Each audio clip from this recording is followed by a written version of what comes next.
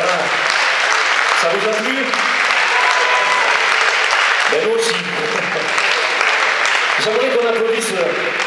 euh, ils font beaucoup de travail derrière dans cet orchestre. Ce sont tous les batteurs percussionnistes. Alors Morgane, euh, Maxime, Melvin, euh, Fabien, Paul. Voilà. Et sans oublier les clarinettes, première et deuxième rangée, voilà, ils vont se lever, les quatre clarinettistes, le hautbois et les trois flûtistes.